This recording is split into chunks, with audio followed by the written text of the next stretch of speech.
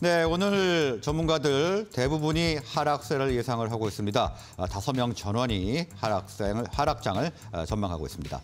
먼저 이데일리온의 뜨거운 태양 전문가는 카카오페이에 관심을 가지고 있습니다. AJ 인베스트먼트 이재규 대표는 KEC 주목하고 있고요. 윤정식 바로자산운영 이사는 LG전자에 관심을 가지고 있습니다. 이데일리온의 심종섭 전문가는 영창케미칼에 주목을 하고 있고 다올투자증권 이성우 차장은 LIG 넥스원에 관심을 가지고 있습니다. 자, 그럼 두 분과 화상으로 이야기 나눠보도록 하겠습니다. 이데일리온의 뜨거운 태양 전문가 AJ 인베스트먼트 펀트의 이재규 대표 연결되어 있습니다. 자, 두 분 나와 계십니까? 예, 안녕하십니까. 네, 안녕하십니까. 자, 먼저 뜨거운 태양 전문가님, 2,400선에 네. 안착을 했습니다. 앞으로가 네. 좀 중요할 것 같은데요. 어떻게 예, 전망을 하고 계신가요? 예, 어, 제가 지난번에 그 업다운 시간도 말씀드렸는데, 어, 하락시 어, 한 2,100에서 2,200 200 어, 포인트에서 지지가 나오고 상승 시에 어, 2,400까지 어, 상승 어, 추세가 있다 이렇게 말씀드렸습니다.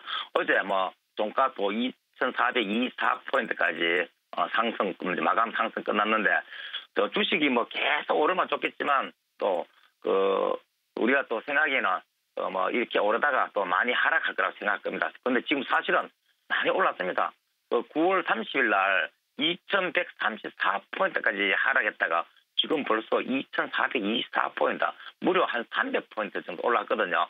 자, 일단은 121선이 2,400선을 일단 도달했지만은, 어, 미국 시장이 오늘 급락으로 인해가지고 아마 오늘도 오늘 조정을 어, 나올 것 같습니다. 자, 조정 나온 다음에는 오늘, 어, 저, 따라 올라가고 있는 어, 5일선이 현재 2,300, 정확하게 2,300 어, 93포인트 어, 어, 있습니다. 그러니까 오늘 2,390선의 포인트하고 2,400선 어, 정도에서 어, 뭐 상승하지 않게 되고 보이고 일단 지금 뭐 여러분들 어, 지수가 이렇게 많이 올랐지만 우리 개인 투자자들은 어, 사실 매매가 상당히 힘들었습니다.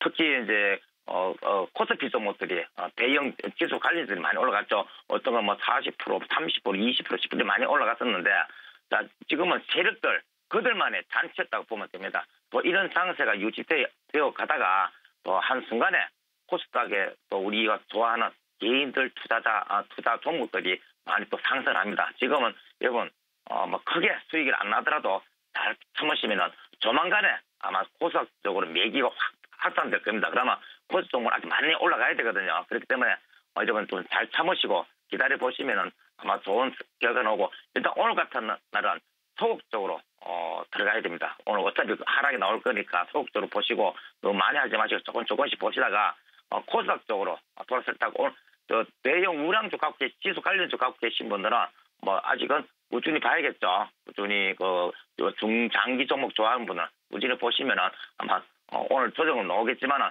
추가적인 상승이 나온다면 또 2,500선까지 2,522선까지 또 올라갑니다. 하루 이틀 조정 받았다가 그걸 아시고 잘 참아보시기를 바랍니다. 네, 그동안 코스피 상승세가 가파랐기 때문에 어느 정도 조정이 나올 수 있다 이렇게 말씀을 해주셨고요. 다음은 이재규 대표님. 네, 뭐 앞서 말씀하신 것처럼 지금 미증시가 큰 폭으로 하락을 했기 때문에 오늘 우리나라 증시 역시 좀 약세를 보일 가능성이 높다라고 보고 있습니다. 우리나라 시장이 이제 어제 기준으로 약 작년 9월 이후에 처음으로 이제 121선을 돌파해주는 모습이었는데 아직까지 완전히 안착하지 못한 상태라는 거죠. 그래서 하루 이틀 정도 어느 정도 조정에 들어갈 가능성이 높다라고 보고 있고 이런 과정에서 이제 대형주들보다는 추세는 살아있지만 어, 저쪽 뭐 밑에 있는 이평선 대비 이격도가 많이 벌어져 있는 종목보다는 어, 정배열 구간에 있지만 이평선과의 이격도는 많이 벌어지지 않은, 않은 아직까지 상승 여력이 많이 남아있는 종목군들을 공략해 보는 게 뭐 시장 대비해서 괜찮은 결과물을 만들어낼 수 있다라고 보고 있습니다.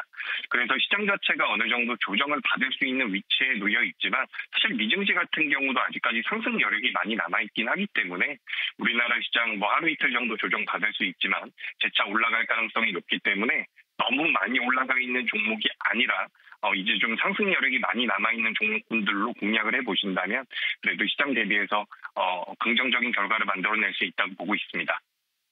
네, 장이 조정을 받을 수 있는 위치에 있지만 상승 여력이 좀 남아있는 종목 위주로 포트를 구성을 해보자 이렇게 말씀을 주셨고요.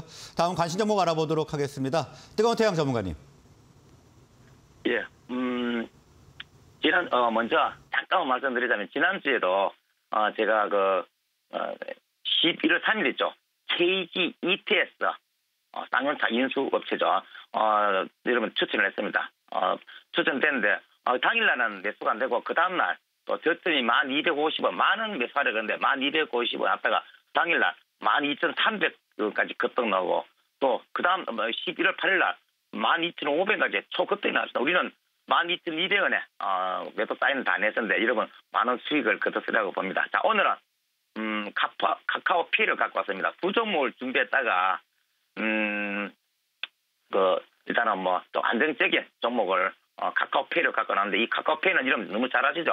뭐 핀테크 기업이죠. 2014년도 9월달 국내 최초로 간편 결제 서비스를 시작했고 뭐 그 후에 송금, 청구서 인증 다양한 서비스를 뭐 어, 계속 하고 있습니다. 그리고 지금 현재 뭡니까? 뭐 마이데이터 주식 매매 서비스 뭐 디지털 손해 보험사 뭐 이런 거 다 하고 있죠. 근데 앞으로도 무궁무진한 카카오 하면 여러분 다 아시죠? 카카오. 사실은 지금 어 지난번에 어 이데일 어 TV에 제가 그 빅, 12시에 출연한 빅머니에서 그 무슨 일이고 해서 카카 카카오 어, 게임즈를 추진했습니다. 3만 8천 내.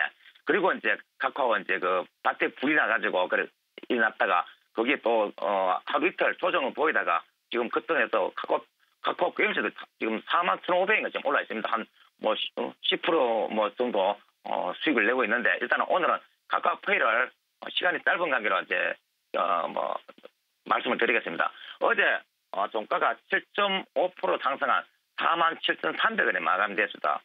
자, 이 종목이 최고 고점이 얼마였습니까? 뭐 23만, 25만 원 이렇게 갔었죠. 당초 작년 어, 어, 당, 어, 올해 작년 11월 3일인가 그 상장했지 않습니까? 그죠? 오르다 지금 얼마입니까? 4만 7,300원이에요. 무려 몇 프로 하락입니까? 한 70% 하락되죠. 자, 그 정도 하락되게 되면 많이 내리기 때문에 더 올라갈 확률이 높습니다. 오늘 매수가는 여러분들 네. 한 4만 2천 원이 제일 좋은 자리인데 4만 4천 원을 잡고 추가 하락 시 매, 어, 추가 매수는 4만 원 잡으시고 한번 해보시기 바랍니다. 목표가는 1차 5만 2천 원, 2차 6만 4천 원입니다.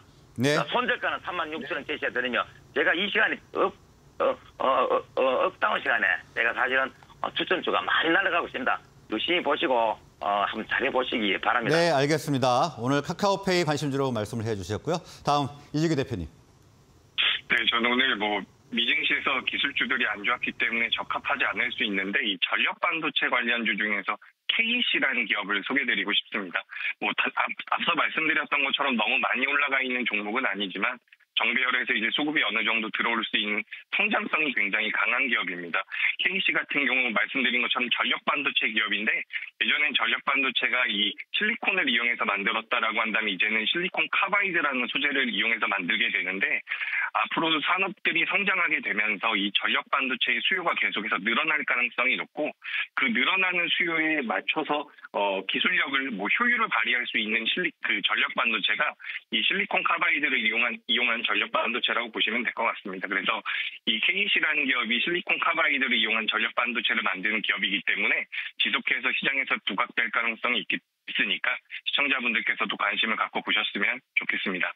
네, 전력 반도체 기업 KEC 관심주로 분석을 해봤습니다. 자, 오늘 말씀은 여기까지 듣겠습니다. 두 분 수고하셨습니다. 예, 감사합니다. 감사합니다.